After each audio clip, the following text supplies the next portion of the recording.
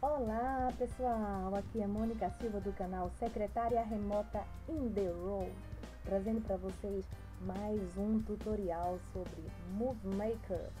Um, no nosso último tutorial eu mostrei as ferramentas que a gente pode utilizar nesse programa, um programa super interessante que muitas vezes vem no seu computador já instalado. Então você pode fazer vários vídeos, pegar aquelas fotos das suas viagens e fazer vídeos para você assistir na televisão, editar, colocar um fundo musical, colocar uma legenda, um nomezinho do filme. É um programa muito legal, muito interessante e lhe permite fazer vários projetos.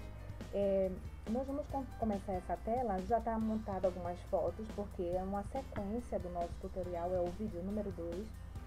E é, no vídeo número 1 um, eu ensinei como colocar as fotos, mas aí eu vou mostrar novamente bem rapidinho, porque quem não assistiu o primeiro vídeo vai poder pelo menos ter uma noção de como inserir as fotos aqui.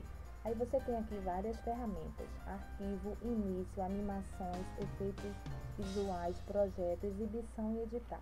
Você vem aqui Tá vendo meu mouse indo pro lado direito, adicionar vídeos e fotos. Você clica nele e você vai poder, vai proporcionar você buscar do seu computador algum arquivo que você já tenha baixado. Um vídeo, uma foto, aí você fica a seu critério, tá vendo? Eu cliquei com o botão direito do mouse, achei o meu, a minha imagem, meu vídeo, dei dois cliques, abri e ele já veio pra cá. Pronto. Eu já coloquei algumas fotos. O que é que nós podemos fazer nesse tutorial? Umas coisas bem interessantes. Você vai adicionando as fotos que você quer, do seu, da sua viagem, do seu passeio. Então, depois, o que, é que você pode fazer aqui nesse, nesse, nesse, depois que você colocar as fotos? Você pode movimentar as fotos. Eu quero essa primeira foto aqui. Eu quero essa no final, porque vai mostrar o blog no final do vídeo. Uh, eu coloquei uma foto, mas eu não gostei não, tá? Eu vou tirar, não quero. Aí você clica com o botão direito do mouse e você vem aqui descendo, ó, recortar, copiar, colar, remover. Ele remove a foto. Uh, eu também não quero mais essa foto do, do blog.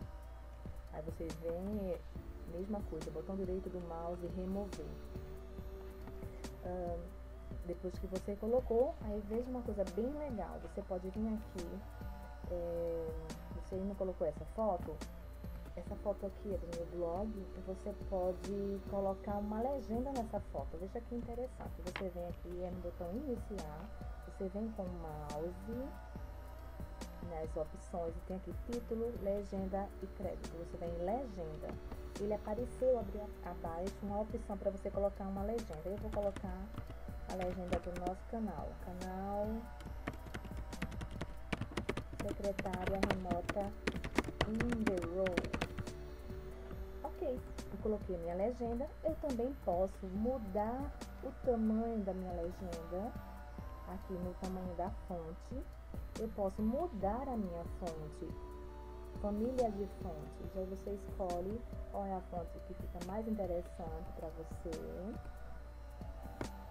Você pode deixar ela mais escura, negritar você pode colocar itálico, ela fica mais deitadinha. E você pode mudar a cor da sua legenda. Vamos botar uma cor uma amarela. Veja que coisa mais interessante. Aí, se você, você colocou a primeira foto, você pode colocar aqui o nome do seu, da sua viagem, o roteiro, alguma coisa assim. E também você pode incluir um título você vem aqui, tá vendo? Você vem, tá vendo meu mouse indo para o lado direito, você clica aqui em título e você pode colocar. Neste caso, vamos colocar aqui um tutorial sobre Movie Maker. Deleto aqui o nome do meu filme. Esse é o tutorial. Movie Maker, vamos passar aqui. Tá aqui, tá, minha fonte está no tamanho 48, eu posso diminuir, eu posso aumentar. Ok? Também posso mudar, também posso mudar aqui a minha fonte. E posso colocar uma outra cor. Eu tenho uma caixa aqui marcada. O meu tutorial foi marcado. Quando você vem com o mouse movimentando ele na sua tela, ele, ele faz uma cruz. Quando ele fizer a cruz, é porque você pode arrastar para qualquer área aqui da sua fotografia ou do seu espaço. Quando ele fizer uma setinha para baixo ou para cima, significa que você pode segurar com o botão esquerdo e arrastar para o lado que você quiser. Ok? É, vamos ensinar agora como você colocar um fundo musical. É importante saber que você tem que colocar músicas que sejam gratuitas e não tenha direitos autorais. Isso é muito sério, você colocar uma música, um fundo musical de alguém que não lhe autorizou. Então, coloca a música gratuita lá, que não tenha direitos autorais para você não ter problemas futuros. Aí você vem aqui na opção, tá vendo? Iniciar, adicionar fotos é outra opção, adicionar música. Você clica na setinha que tem para baixo, você vai adicionar música do ponto atual. Eu já estava na primeira parte, eu já tinha baixado aqui algumas músicas e vamos colocar aqui uma musiquinha. Escolhi, coloquei. Tá vendo? Essa parte que ficou em verde é a música. Se você vê que a música foi menor do que as fotografias, você adiciona a partir de outro ponto. Você vem pra cá e vai de novo lá. Adicionar novamente. A música vai terminar e vai começar de novo. Vai terminar e vai começar de novo. Aqui você pode fazer uma narração. Se você não quiser colocar uma música, se quiser narrar, você começa aqui. Aí você, gravação. Aí você vem, clica em gravação, ele vai começar a gravar. Você vai dizendo essa viagem foi para Maceió, foi uma viagem espetacular. Lá eu conheci, um, conheci as praias, você bota as fotos da praia e aí você vai narrando do jeito que você achar melhor. Ok. Aí aqui você pode movimentar, já mostrei para vocês, você movimenta ah, o tempo que você quiser, coloca as fotos, exclui, movimenta para um lado, movimenta para o outro. Um, deixa eu ver o que mais eu posso mostrar para vocês que é interessante. Animações, nós já vimos, projeto, aqui você pode, quando você inclui a música, você pode, é, você vê que a música ficou com um volume maior do que a sua narração, você clica aqui em mixagem de áudio e aí você diminui, tá vendo? Você aumenta diminui. No meu caso, eu gosto de colocar a minha música bem no musical, baixei, pronto. Aí a música vai ficar bem lá, bem suave e você pode né, realçar sua narração e realçar seu vídeo. Aqui em editar. Editar, no momento nós não vamos mexer em nada, mas aqui em opções você pode, se você fez um, você fez um vídeo e aí fez uma narração e quer cortar o final, aí você vem aqui definir ponto final.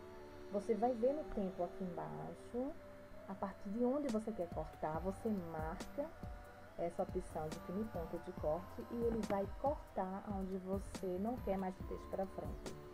E isso é muito interessante, porque às vezes você grava e no final você se atrapalha um pouquinho, você não quer perder seu vídeo todo, você consegue editar.